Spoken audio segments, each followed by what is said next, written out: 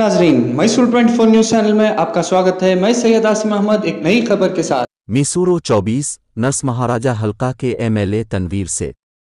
Code 19 के बारे में तीसरी लहर का बयान। प्यारे वालिदैन, मोहतात रहें क्योंकि कोविड 19 की लहर हमारे शहर में दाखिल हो गई है। आप इन प्यारे छोटों को देख सकते हैं, कितने मासूम हैं। उन्हें ये तक नहीं मालूम कि कोरोना हर्फ तहजी आके से शुरू होता है, लेकिन अभी तक कवीवुड किसी को भी नहीं बख्शा जा रहा। लिहाजा हम कोविड केयर सेंटर की टीम हर फर्द और वालदेन को मुतनबे करती है, इलाज करवाने में और आपके बच्चों के लिए ज़रूरी मदद में ताख़ीर ना करें। मिसूरो 24 न्यूज़ चैनल इंडिया के ज़रिए रिपोर्ट किया गया। मिसूरो 24 न्यूज़ चैनल इंडिया पर रोज़ाना की ताज़ा तरीन खबरों के लिए यूट्यूब पर सब्सक्राइब करें और फेसबुक को लाइक शेयर करें। कोरोना का दूसरा वबा हमारे दरमियान में है। और साथ ही साथ बहुत सारे अखबार में और टीवी पर कोरोना के तीसरे वबा के बारे में बहस शुरू हुई है। मैसूर शहर में कोरोना के वबा में लगभग अठारह हज़ार बच्चों को गुलिस्ता साल और इस साल कोरोना के वबा में पॉजिटिव आया था और इन बच्चों का इलाज होने की खबर भी है ना हमारे में छपी है। बहुत सारे वालिदैन बच्चों को लेकर परेशान हैं, जिसमें ये कहा जा रहा है कि तीसरे कोरोना की इस वबा में बच्चों के ऊपर गहरा असर पड़ेगा।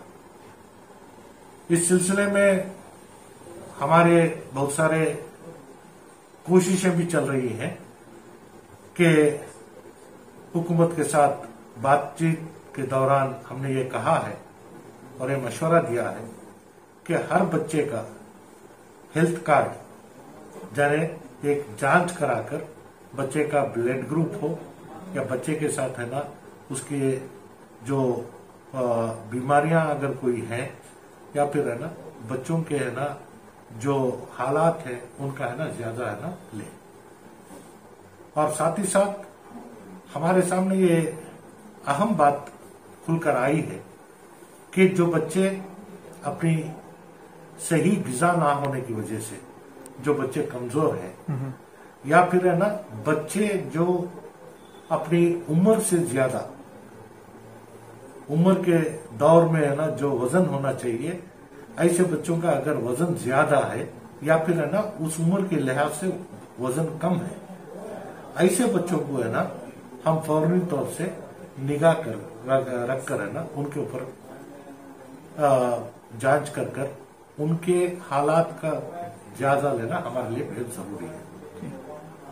एनआर कोविड केयर और हॉस्पिटल जो आप तमाम को मालूम है कि कोरोना के इस दूसरा वबा में हमने इस अस्पताल को है ना फिर एक बार शुरू कर कर अब तक अल्हम्दुलिल्लाह 500 से मजीद पेशेंट्स कोरोना के मरीज़ आए थे और वो है ना शफा हासिल कर कर आज अपने घरों को गए। इस दौरान ये बात भी सच है कि गुज्ता आठ दस दिन में। हमारे अस्पताल में कुल 18 बच्चे दाखिला लिए हैं, जिसमें तीन बच्चे इलाज, जर जर इलाज में कामयाबी होकर शफा हासिल कर वो है ना घरों को लौट गए मौजूदा पंद्रह बच्चे हमारे में जर इलाज हैं। अल्हम्दुलिल्लाह, डॉक्टर उनका ख्याल रखे हैं। और मुझे ये जानकर रहना बेहद खुशी है कि जहाँ जिस अस्पताल को हमने, है ना, नए तौर से शुरू किया गया था, यहाँ पे, है ना, चाहे वो बच्चे हो या बड़े हो, इनके इलाज के लिए ये अस्पताल आज मुकम्मल तौर से खिदमत अंजाम दे रहा है। तीसरा वबा कब आ रहा है, इसके आ, हमारे सामने है ना क्या इनकम होंगे? ये बात के ऊपर ज़्यादा ज़ोर ना दें। सिर्फ़ इतना कहने के लिए मैं चाहूँगा कि अपने आप को महफूज रखें मास्क पहने और साथ ही साथ अपने माशरा जो है ना अतराफ के माहौल को ना साफ़ सुथरा रखें। अगर अल्लाह ना करे किसी को है ना वही सिम्टम्स खांसी है, या फिर बुखार है, या सर्दी है, या फिर आंग हाथ में दर्द है, या ना डायरिया हो रहा है। ऐसे हालत में है ना, करीबी अस्पताल को है ना, बच्चों को या फिर अपने आप को है ना जाँच कराए। इसमें है ना, फ़िक्र की कोई बात नहीं है। इनशाला इनशाला खिदमत के लिए हम सब तैयार हैं। हिम्मत देने के लिए तैयार हैं। खिदमत करने के लिए तैयार हैं। और आज हमारे सामने जो बच्चे जरे इलाज है, इनका भी ना बाकायदा ख्याल रखा जा रहा है। इसमें कोई फ़िक्र की बात नहीं। नहीं जहनी तौर से बच्चों को एक जगह बाँध कर रखना बड़ा मुश्किल का काम है। तो ऐसे हालात में बीमारी जब दिमाग को चढ़ जाती है तो उनको है ना दीवानगी आ जाती है। तो ऐसे हालत में हमने डॉक्टरों से बात किया और जो चाइल्ड स्पेशलिस्ट है इनसे बात किए बात करने के बाद हमने देखे कि बच्चों को है ना अगर खेल में खेल कूद में अगर हम लगाए तो बच्चों के जहन से है ना बीमारी दूर हो जाती है। जी जी। तो इस लिहाज से हमने है ना कैरम बोर्ड और दूसरे है ना बच्चों को खेलने के लिए चंद चीज़ें लाए हैं। और खासतौर से उनको है ना वक्त वक्त वक्त और वक्त में बिस्किट हो स्नैक्स या फिर उनको स्नैक्स हो ऐसी चीज़ें देने का भी सिलसिला हमने रखा है।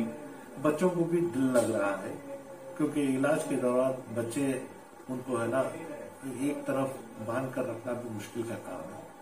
तो इंशाल्लाह जो कोशिशें चल रही हैं इसमें और मजीद तरीके से अगर कोई चीज़ की चीज़ का काम करना है तो इसके लिए भी है ना इंशाल्लाह हम करने के लिए तैयार। ये हाल ही में मैं जब भी मैं अस्पताल में जाता हूँ तो खास तौर से बच्चे जहाँ कहीं भी हैं उनके सर पर हाथ फेरना उनको है ना हिम्मत देना ये एक हिसाब से है ना मुझे बच्चों के साथ जो लगाव है तो इससे बच्चों के चेहरे के ऊपर जो खुशी नज़र आती है उससे है ना मुझे एक हिम्मत मिलती है। तो हमेशा मैं ये समझता हूँ कि है ना बच्चों के वो मुस्कुराहट से ही मेरी ताकत है। देख कोविड की दूसरी वबा में जो एक डर हमारे दरमियान में था कि कम्युनिटी स्प्रेड हो जाएगा। ये हालाँकि कम्युनिटी स्प्रेड के दर्जे पे आ गया। जी। लेकिन अल्लाह का लाख लाख शुक्र है जी। कि हमारे इस हल्के में जी। इससे हमारे लोगों को ना ज़्यादातर जी। इससे ना कुछ हुआ नहीं है। जी। और खास तौर से अल्लाह सब लोगों को ना हिफाजत रख, से रखा था। अभी तीसरी वबा आने की जो बात चल रही है जी। यही बात मैं फिर दोहराना चाहता हूँ कि अपने आप को है ना महफूज रखने के लिए ये हमारी ताकत है। अगर हमारे हाथ से कोई चीज़ निकल जाती है क्योंकि शफा और बीमारी ये भी अल्लाह की देन है। जी सर। लेकिन अपने आप को हिफाजत रखना यह हमारे हाथ में है। तो इसलिए मैंने कहा कि ना मास्क का इस्तेमाल अपने हाथों को बार बार धो लेना सोशल डिस्टेंसिंग रखना और खास तौर से किसी का झूठा इस्तेमाल करना। जी। इन चीज़ों से हम महफूज ये परहेज करें। और अगर अल्लाह ना करे किसी को है ना सिम्टम्स भी आ गए बीमारी आने के इंतज़ाम भी आ गए तो डरने की कोई बात नहीं है। खिदमत के लिए हर चीज़ हमारे पास है ना मौजूद है। नहीं किसी के कहने पर ना तवज्जो ना दे। जी। अगर चीज़ खराब है या नुकसानदायक है हुकूमत से कभी नहीं, नहीं दिया जाता। जी। आज इस चीज़ से है ना फ़ायदा है।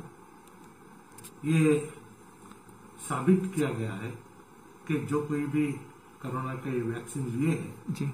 अगर उनको खुदा ना खास्ता कोविड के शिकार भी बन जाते हैं तो उनको है ना ये जो सीवियर अटैक होता है ये होने से बच सकते हैं। तो इस वजह से कोरोना का वैक्सीन लेना बेहद ज़रूरी है। हमारे हल्के में इससे पहले जरा वैक्सीन लेने के लिए झिझक थी। आज अल्हम्दुलिल्लाह कल हमने जब्बार हॉल में शुरू किया। साढ़े पाँच सौ लोग कल लिए थे। आज फिर हमने जबर हाल में करने के बाद आज फिर साढ़े पाँच सौ लोग लिए आज साथ में और मजीद चार सेंटर हमने जी।